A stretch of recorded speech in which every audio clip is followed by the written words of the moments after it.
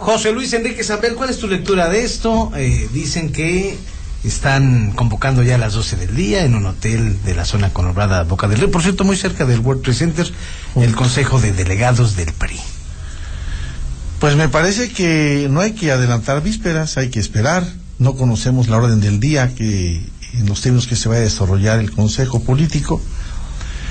Lo cierto es que es esto es lo que estamos viendo, pero también hay que tener en cuenta que hay cosas que no se ven, pero que están sucediendo. Como por ejemplo. Pues no sé qué acuerdos vaya a haber. En el Consejo. Claro. El domingo. Hay el que senador esperar. Héctor Yunes quiere que sea por encuesta. Bueno, Me imagino que el senador Yunes Orrillo también. Bueno, lo que yo oí en la nota que pasaste hace unos segundos es en el sentido de que él presupone o deduce que los delegados tomarán en cuenta como termómetro de medición para tomar una decisión o aportar algo en ese consejo político las encuestas que tengan a la vista. Bernardo Bellicia, ¿tú qué, cuál es tu lectura?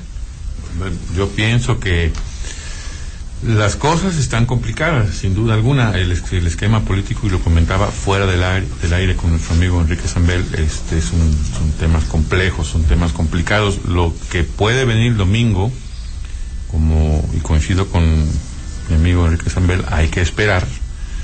Lo cierto es que el esquema de la unidad famosa que tanto se ha mencionado a lo largo de estas últimas semanas, la unidad priista en torno a un candidato de unidad, Lo va a haber. Pues se ¿Tú, tú vuel- crees que va a haber un candidato de unidad? Ay, mira, todo puede ser. Yo siento y creo y hemos visto a lo largo de los años, y eso no me van a dejar mentir, que el partido a final de cuentas siempre se cuestiona en torno a una persona, a una figura.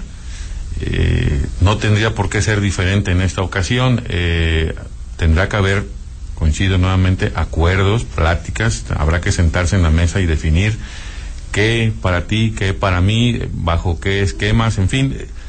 Estos grandes acuerdos se deben de tomar eh, pronto en beneficio de la unidad partidista, en este caso el PRI, pero también, y lo hemos comentado aquí, en torno a, primero, un candidato que debe salir fortalecido, todo esto que se ha estado buscando, dos, eh, fortalecido no solamente al interior del partido, sino afuera, con la ciudadanía, que es lo principal.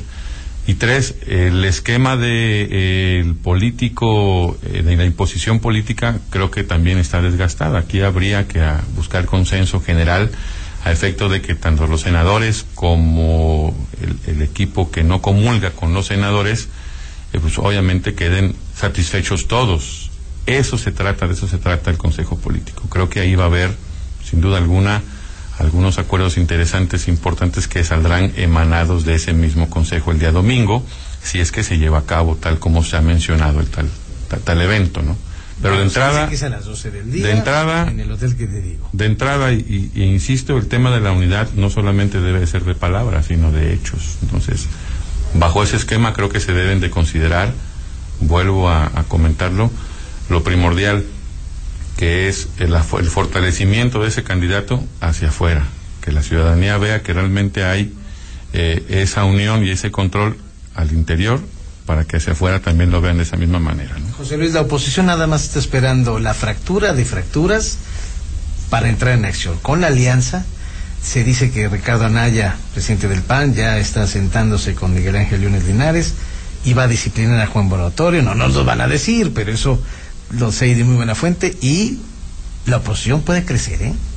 Por eso hace un momento comentaba, y sigo insistiendo, una cosa es lo que estemos viendo a la vista de todos, y otra cosa es lo que se esté tejiendo no a la vista de todos.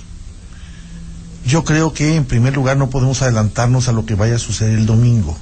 Quien lo asegure, mm, mi respeto, si es un magazo. Porque dicen ¿eh? que puede haber chispas en lugar de humo blanco y ahí he estado leyendo. No, no, digo, no dudo que pueda haber humo blanco porque así se llama en el argot político cuando hay ese tipo de reuniones, como Entonces, comentaba. ¿tú crees que el domingo no se sepa que haya ya candidato a gobernador? No, seguramente que no. No. Por supuesto que no. A ver, número uno, van a esperar la cortesía de aguardar a que pase el 6 de enero con el acto agrario y la visita del presidente Peña Nieto.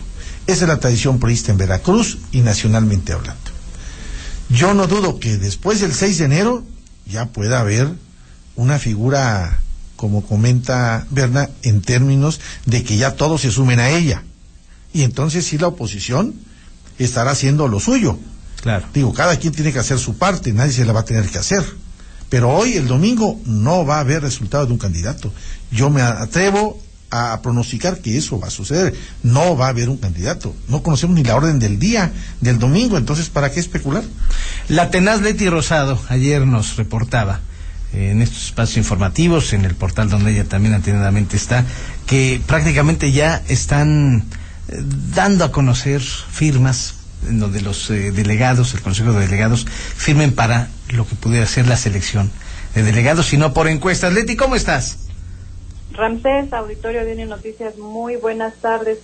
Pues este para comentarte que esta mañana sesionó el Tribunal Estatal Electoral del Poder Judicial, en donde el magistrado presidente, eh, hay que recordar que fue nombrado la semana pasada de manera fast track, Gregorio Valerio Gómez reconoció que existe una laguna legal por lo que no se pueden sancionar los actos anticipados de campaña. En entrevista después de esta sesión en donde solamente trataron un punto, dijo que en tanto nadie interponga denuncias o quejas ante este poder, pues todos aquellos que se encuentran en plena precampaña no pueden ser sancionados. Agregó que el próximo viernes 11 de diciembre iniciarán el periodo vacacional, sin embargo que pues estarán analizando los recursos que se han interpuesto en contra del organismo público local electoral relacionados con la asignación de consejeros distritales y por no conceder el registro a una asociación política estatal. Pero si me permite vamos a escuchar las palabras del magistrado presidente del Tribunal Estatal Electoral del Poder Judicial de Veracruz, Valerio Gregorio Valerio Gómez que ese es el asunto, que son manifestaciones y no está todavía encuadrado en lo que pudieran considerarse actos. Eh, sí, hay, hay eh, cuestiones que no se pudieran considerar que ya son actos este, dentro de una pre-campaña, de una campaña política, ¿no? y es que reconoció que aunque los aspirantes particularmente del Partido Revolucionario Institucional se han reunido con sectores de su partido, de la sociedad civil, y además con algunos eh, casos hasta pareciera que se hacen promesas de campaña, eh, dijo que no hay reglas electorales que encuadren este tipo de manifestaciones para poder ser sancionados. Ya para finalizar, recordó que a nivel nacional ha habido promociones ante el Instituto Nacional Electoral respecto de personajes de la política en donde se presentaban este tipo de denuncias por considerar, considerarlos actos anticipados de campaña, pero en este sentido pues indicó que el tribunal no hay ninguna queja, queja formal al respecto, por lo que tendrían que ser los mismos institutos políticos los que interpongan estas quejas, denuncias o impugnaciones, de así considerar que estos actores políticos que ya andan en, en plena precampaña este, puedan presentar esta queja ante el Tribunal Electoral, en tanto pues no se designa a los nuevos magistrados de lo que sería el organismo jurisdiccional local electoral. Ramsés. Muchas gracias, Leti. Entonces, el domingo sí habrá consejo de delegados en el PRI, ¿no? Así es, el domingo habrá consejos de delegados en el eh, en, del Partido Revolucionario Institucional allá en el puerto de Veracruz. Hay que recordar que pues de un inicio se había mencionado que esta convención pues sería aquí en Jalapa, sin embargo, como ya se ha venido presentando en las últimas fechas, todo lo que es este, movimientos políticos lo hacen allá en la zona conurbada Veracruz Boca del Río. No entiendo por qué, será porque hay un panista ahí de vecino, pero este, la convención de delegados es el método que utilizará el Partido Revolucionario Institucional para elegir a su candidato a gobernador, esto para el proceso electoral 2016, por lo que el Consejo Político a celebrarse el próximo domingo pues solo servirá de protocolo ya que la dirigencia estatal de este partido pues ya tiene amarrada esta mecánica. Aunque no ha sido convocado formalmente Ramsés este consejo político, los operadores afines a la dirigencia del PRI que preside aquí en el estado Alberto Silva Ramos ya recaban las firmas de los consejeros, esto bajo presión, pues para obtener su acreditación para ingresar a la reunión de este domingo allá en un conocido hotel de la zona conurbada, deben rubricar desde ahora el acta de asistencia. De esta manera, pues, se dice que la dirigencia tricolor asegura el mínimo de asistencia requerido de manera estatutaria, pues acudan o no, los 650 consejeros pues ya tienen firmada la documentación en la que se asienta que no será la encuesta, sino la convención de delegados el método impuesto para sacar al próximo candidato priista a la gobernatura. Ramsés. Brillante como siempre, Leti. Gracias. Hasta luego, muy buenas No lo puedes creer, José Luis Enrique pero siempre ha sido así. No, bueno, a ver, a ver. Ver, Estamos viviendo un tiempo diferente. Y yo creo que el PRI hoy no puede atreverse a parecerse al Volkswagen Sedan, perdón por el gol. No, pues ya no existe. el clásico Volkswagen Sedan que siempre anunciaba cada año que iba a cambiar y en diciembre el modelo aparecía igualito.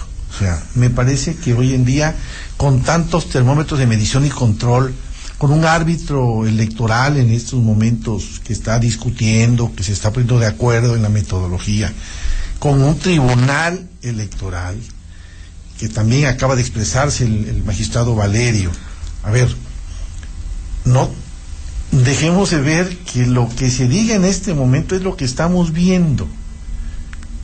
Tú pides esperar todavía. Yo creo que hay que esperar. Lo analizamos el miércoles. Sin duda. José Luis, gracias. Berna, gracias, ya nos vamos. Se nos comió el tiempo. Vamos, el miércoles lo, anal- lo analizamos y a ver si en- tiene razón Leti Rosado o si tiene razón tú, ¿te Yo parece? apuesto que no hay humo blanco el domingo. Bueno, vamos una pausa.